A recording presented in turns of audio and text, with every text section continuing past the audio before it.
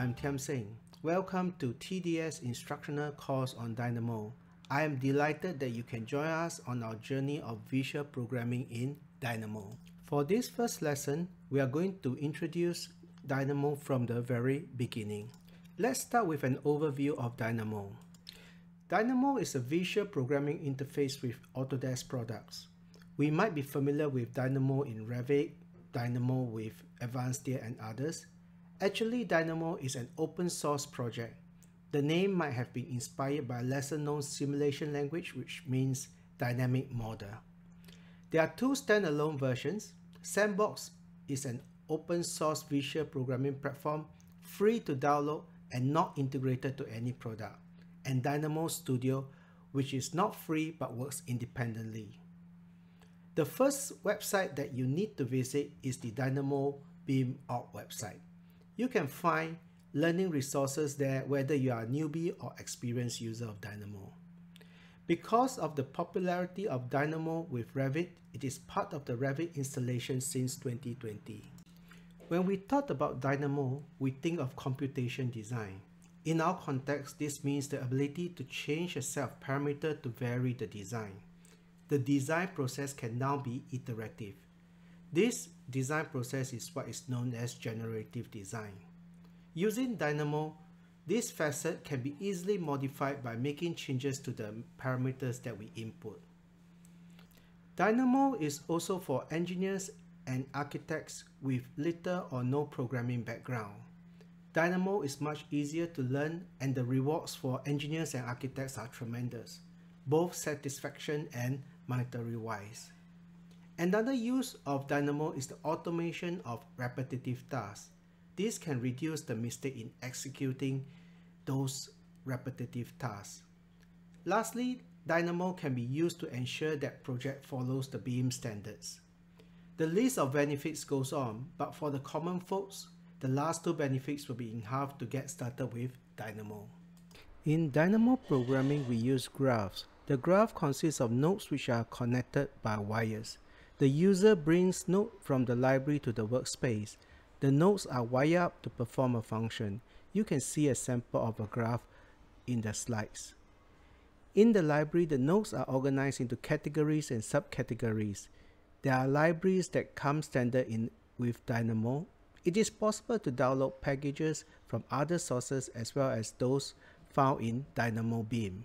TDS produces custom-made specific packages to solve our customers' problems.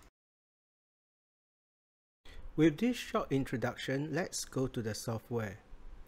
When you start Revit, go to the Manage tab. You can see the Visual Programming panel with two icons for Dynamo. Revit Dynamo is always started from Revit. The current Revit project is associated with the Dynamo section.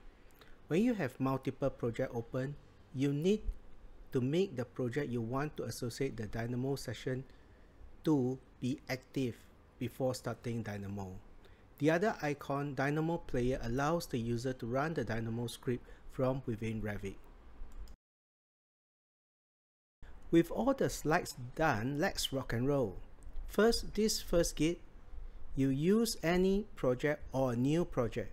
We are just going to do some pure Dynamo. Those without Revit can also follow using the standalone Dynamo sandbox. I use one of the sample projects to begin. Let's start Dynamo from the Manage tab.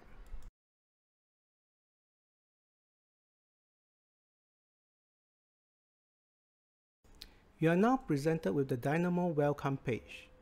You can create or open Dynamo graphs or script, navigate to forum or website, access the abundance reference material. You can even download the Dynamo source code from the GitHub repository. And there are loads of script for you to learn Dynamo. Of course, learning from us via our YouTube video or a live lesson is a more efficient way to get started for most people. I selected one of the sample graphs to get into Dynamo. We can view the interface as four areas. The menu bar at the top, the library navigator, the run bar at the bottom, and of course the main workspace. Let's take a look at the library navigator. We select the geometry category and below you can see there are more subcategories. We can drill downwards till we come to the nodes.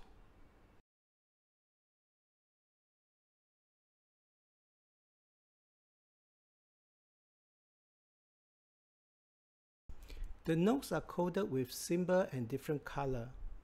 The symbol plus in green, these are for the create node.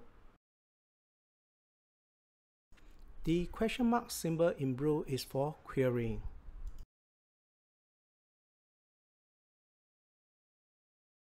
Let's see what other type of symbols there are. The red lightning symbol is for action or modification.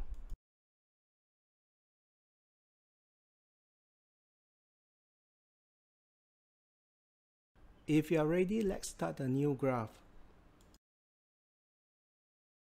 We are going to create our first graph which is the Hello World for Dynamo or our Hello World. This is how our Hello World looks like. We are going to draw a line on the graphical canvas of Dynamo. We will need to create two points to draw the line. The two points will have a fixed point at the coordinate 0 comma 0 comma 0 and the other with the x and the z value variable using a key in number and a number slider. We start the graph by creating the first point at 0, 0, 0. The point is a geometry, so let's look for a node at the geometry category. There are a few ways to create a point. Let's use the point by coordinate system. We select the node in the library and it will be placed in our workspace. You can also see the point graphically. When we hover over the node, we can see the content. We can see the details and we also can pin the detail display. You can see the point 000. If you look at the input, there is a default value set for all the input which is 0.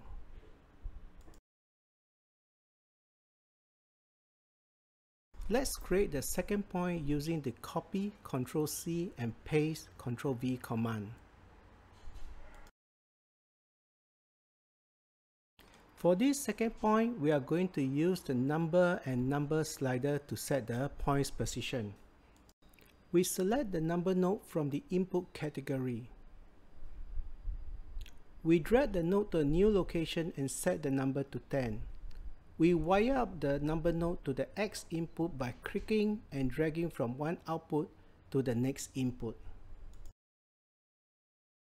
You can see the second point as we wire up.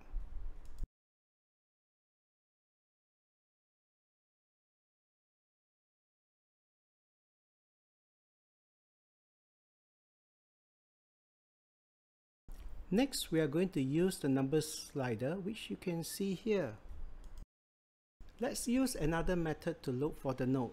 We can right click on the workspace and do a search for the node. Let's type slider. There are two sliders found. Let's use the number slider. We wire the slider output to the Z input and when we vary the slider you can see the point moves in the background. We need to keep the nodes tidy as some graphs can get very big.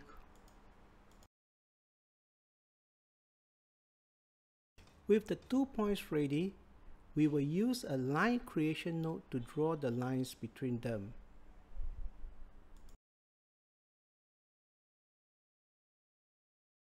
Let's wire the points to the line. You have just completed your task to draw a line that we can vary with the number slider. You also just completed your first dynamo graph. Thanks for following the lessons.